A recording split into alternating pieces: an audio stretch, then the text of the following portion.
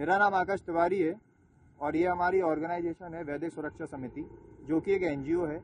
इसको हमने ट्रस्ट के रूप में रजिस्टर्ड किया है, जो जैसे हम समाज के सारे काम करते हैं, सारे कार्य करते हैं, और उसी की आगे देखते हुए हमने ये 16 दिसंबर आज के दिन भारत में विजय दिवस के रूप में मनाया जाता है।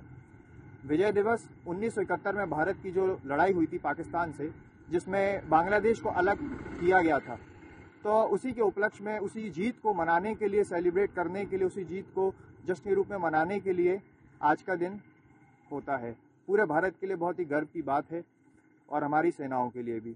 तो उसी के तत्वावधान में, उसी के लिए हम ये एक छोटा सा कार्यक्रम कर रहे हैं। एक ये बाइक रैली है, जो हम निकाल रहे हैं। हमारे सभी लोगों को हम श्रद्धांजलि देते हैं। साथ ही साथ हमारे हाल ही में आप सभी को पता होगा कि हमारे जनरल देश के पहले सीडीएस बिपिन रावत और साथ में उनकी धर्मपत्नी मधुलिका रावत जी और साथ में हमारे जितने भी सैनिक थे, बहुत ही दुखद समाचार हुआ कुन्नूर में जो हेलीकॉप्टर का हादसा हुआ।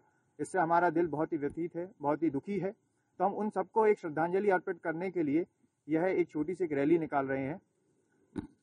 जनरल विपिन रावत के और हमारे सैनिकों के ऊपर जो मज़ाक उड़ा रहे हैं, ये तो बहुत ही निंदनीय है। और इसका जो जवाब है, वो तो हमारी सरकार जो है, इसके खिलाफ जो कड़ी कार्रवाई उठा रही है, चाहे हमारी प्रदेश की योगी जी की सरकार हो, चाहे दूसरी गवर्नमेंट्स भी हो, सभी इसके प्रति बहुत ही कठोर कार्रवाई कर रहे हैं। लेकिन हमारा क्या इसमें दायित्व बनता है? इसमें यही है कि हमें समाज को प्रेरित करना है, समाज को उजागर करना है, जिससे कि हम लोगों में एक देशभक्ति की भावना कर सकें। देखिए, हमारी जो सेनाएँ हैं, वो तो इन सबको रिटेलिएट कर ही रही हैं। चाहे वो पाकिस्तान की सेना हो और देश के अंदर भी अगर आप देखेंगे तो हमारी जो पुलिस है, वो काफ़ी अच्छा काम कर रही है। तो इसमें एज आ एक समाज हम क्या करेंगे? इसमें हम सब उनका एक मनोबल बढ़ाएँगे। तो हम वही कार्य कर रहे हैं उन सबको श्रद्धांजलि दे रहे हैं।